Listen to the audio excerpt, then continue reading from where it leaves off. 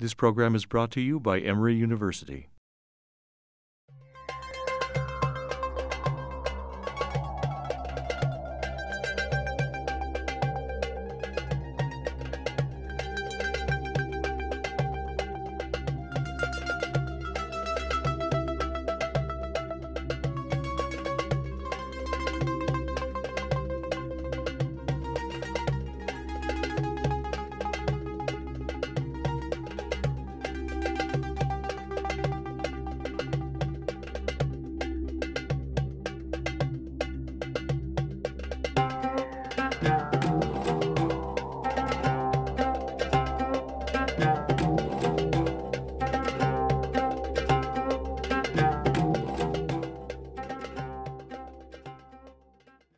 In uh, 1919, uh, James Henry Breasted, who was uh, director of the uh, Oriental Institute of the University of Chicago, uh, decided to go on a research trip to Egypt and throughout the Middle East. He invited a few colleagues along, people from the Metropolitan Museum, colleagues at Chicago, and uh, William Arthur Shelton, who was a student of his and who had come to Emory as Candler Professor of Theology.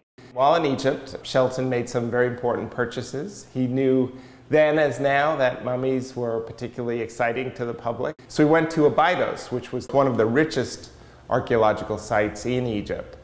Uh, and when he was there, he bought a mummy thinking it was a pre-dynastic mummy. It turned out to be an Old Kingdom mummy, but this was even better because there are so few of these left to us. There's probably less than a dozen in the whole world, and this is the only one in the Americas. So it was uh, very important, but in a very uh, poor state of preservation given its great age. Uh, so it was apparently on display for a short time when he brought it back from Egypt, but for many, many decades now, it's been in a crate in the storerooms. When Peter decided that he wanted to display this mummy and finally convinced me that we should at least examine it again and try to make the mummy more complete for the public, I certainly wouldn't have wanted to take on this project without Mimi Leveque. Mimi is a conservator of objects and textiles and has probably more experience than anyone in North America in treating ancient Egyptian mummies. First time I looked at it, I was amazed that there was anything even standing there. And I looked at Peter and said, There is no way I can do anything with this. It would be easier to put together a bag of crushed potato chips. This mummy is so different from any other mummy that I've ever had the opportunity to work on because of the position that he's lying in. Most of the bodies that we work on are lying flat, they're completely horizontal, they're contiguous. You can sort of, you know, their limbs aren't sticking out. But in this case, his head is raised, his arms are, one is up, the other is down. Because of that, gravity had pulled the upper arm off. The knees are balanced against each other, but it's a very precarious balance. So he's really fighting gravity just by the position that he's in. And then the condition of the linens was far worse than any other body that Mimi had worked on or that I had encountered here in this collection. The linens were more torn. There were a lot more big gaping losses. Insect holes are not unusual, but and neither are tears, but large areas missing and open were not the norm. And then the hands and feet bones were lying there completely exposed with no linen around them, no longer in the position where they're supposed to be. Then of course the head was in a separate box. So to have to put all of that back together without any way of supporting the individual pieces as a unit seemed daunting, if not impossible. Because of the fragile state and the, the amount of damage that there had been to the surface, that we were able to actually see right down to the sequence of the wrappings. So we could tell that the very earliest layers were a very coarse, almost like burlap material. And as each successive layer went on, it became finer and finer. There appears to have been a shroud that covered the body, and there are fragments of it that lie below the body, and in some cases, there are traces of it that remain on the surface of the body. And that was incredibly fine, something that people couldn't do now. One of the most important things we needed to do was to examine it uh, with modern medical imaging equipment. And fortunately, Dr. William Torres at Emory Hospital very kindly allowed us to use the radiology department and allowed us to x ray and CAT scan. That really showed us the sad condition of the skeleton, that the bones were not where they should be, his pelvis is not in alignment, that there are indeed neck vertebrae still around, but they're down inside the stomach area, that the ribs are all as if someone threw them in a horseshoe match and they're just lying around inside the chest. You know, and I think every step of the way I kept thinking, what's going to happen when it all just collapses inside? You know, what happens when this just gives up because there's not enough structure anywhere to support anything?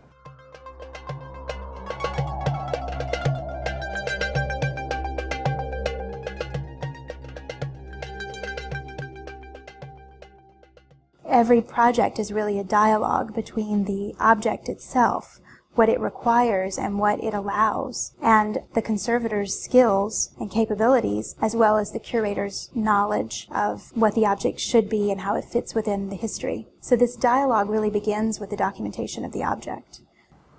So we had some goals for the treatment. First of all, we wanted to stabilize the body as much as possible because we wanted to make sure that there was no further damage to the mummy. We wanted to be able to restore dignity to the mummy by putting his linens back together, by putting his head on, rewrapping his hands and feet so that none of the bones were exposed any longer. We wanted to avoid damage that was due to any of the methods that we chose for the treatment. So we wanted to ensure that anything that we were doing could be undone in future years we also wanted to avoid altering or obscuring any details of the wrappings because we wanted to make sure that future scholars would still be able to get more information from this body, something that we might not have been able to get as we looked at it. When we first brought the body from storage and opened up its packing, to begin the examination, he was covered in dust, and there was a lot of dust floating inside and all around, and piles of it lying around the body, mixed in with the linen. And clearly, we would have to clean away this dust in order to reveal the bones that we needed to reposition and the linens that we were trying to document and then lay back into place. All this dust quickly became apparent that it was him. It was his tissue that had disintegrated. So we collected all of the, the debris, the dust that had been uh, around the body and put it back inside of Tyvek bags that we made in the lab. Most of the mummies that I've worked on that had been shipped from Egypt in the early 20th century have been stuffed with raw cotton, and this one was no exception. Because there was so much space between the linens and the body, they stuck it also underneath the linens, which is something I haven't seen before.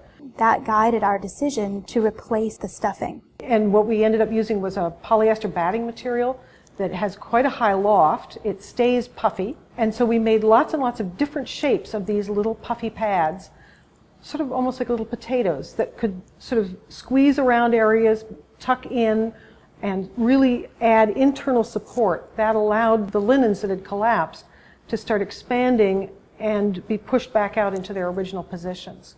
We had to create support without stressing the existing ancient linen and bones. Because there was so much of a, a, gap around the long bones, we needed something that could go around them. And so we started to explore tubes and curved shapes that would allow us to fill in spaces. These then could be covered with linens, and it would then start to look like the original wrappings of the body and not be so distracting. We had originally thought we were going to be wrapping the individual fingers as if the hands had been made to wear gloves. And while Mimi was visiting, I got an email from Peter, who was working at Abydos. And he wrote back and said, not gloves, it was mittens. As we were able to find the bottom part of the right hand covering, we realized it was actually more like a mitten but without the thumb, so that it was completely wrapped. In addition, the bones of the feet were lying just loose on the bottom of the, the base of the coffin. And we were able to find just enough traces to show how the wrappings had gone around the top of the feet, even though almost all of those wrappings had completely disintegrated. We excavated the hands and foot bones, and they were then rearticulated by a physical anthropology student, Catherine Markline, who was able to clean them up and put them all back together in order for us. Volunteers, student interns in the conservation lab became involved in the project to make missing bones. We borrowed skeletons from the anthropology department so that we had references, and they, using an epoxy putty, sculpted the missing bones of the hands and of the feet and filled in all the bones that he was missing. We wanted to be sure that we were able to replace all of the missing body parts as much as we could, not just for structural reasons, but because it was important to this individual's religious beliefs. Peter wanted to have the face put back on because most of the Old Kingdom parallels that we have show something like a face, a, a, nose, features that make it look as though there is really a face underneath. And of course, we just had the top of the skull. So the first thing we were we did was to make a new jawbone so a mandible was taken from the collection of the Physical Anthropology Department, and that was reproduced. A mask was put on the front of the skull after the skull was wrapped with Tyvek, and then that was held in place with a stocking. He looked a little bit like a bank robber at that point. Then that was covered in layers of linen. Different fiber types look different. So it, we couldn't choose a polyester, we couldn't choose cotton even, because we wouldn't have been able to get the same reflectance. The surface of it would look very, very different if we had chosen a different kind of fabric. So we had to stay with linen. Also, linen has a way of expanding, contracting, and so you want to keep your fiber types very similar so that they respond the same to any changes that might happen in relative humidity or temperature around the, the mummy.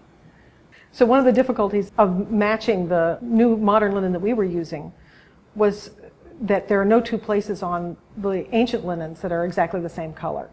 It was a huge range from almost white to a very, very dark red brown. So Katie Eitri was able to put together a dye palette that allowed us to dye a whole range of color. And we were able to then make different colors of linen strips that could be used relative to the different colors that were showing up on the body. Peter also found evidence when he was at Abydos of ears that were formed out of plaster and linen, presumably to place on the outside of a wrapped skeleton to give him back the suggestion of an ear. So based on that evidence and the comparisons with the few others that survived, we decided to make an ear out of linen and attach it to our skull.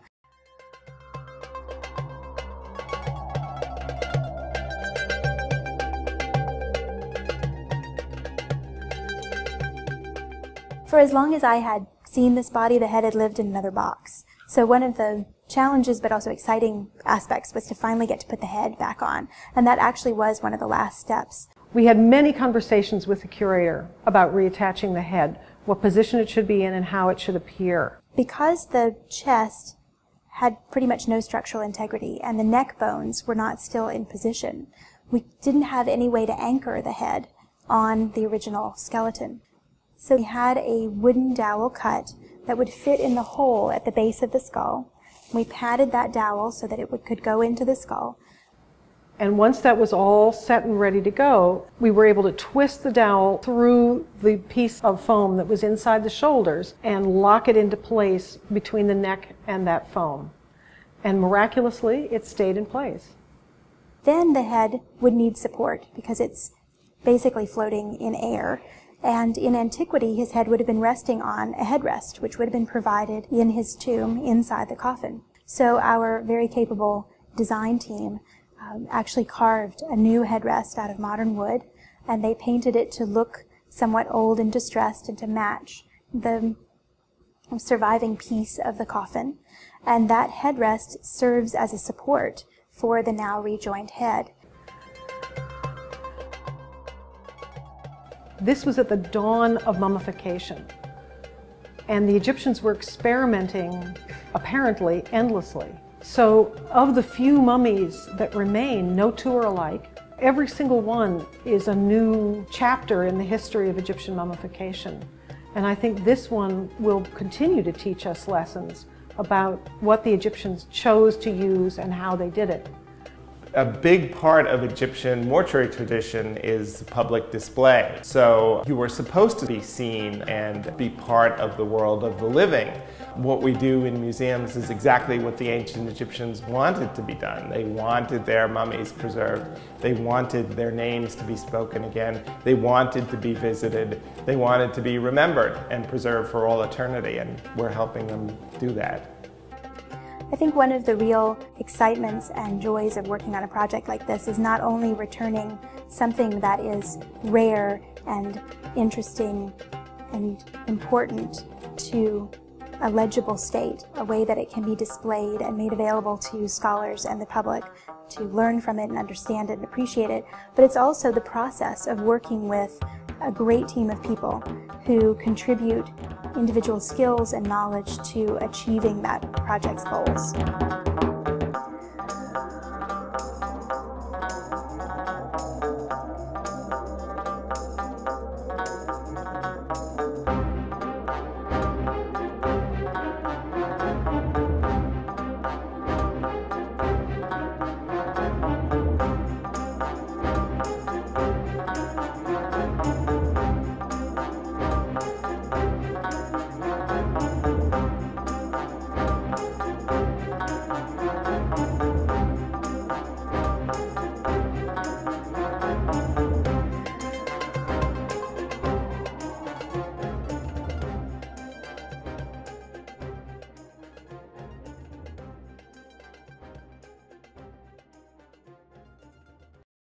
Preceding program is copyrighted by Emory University.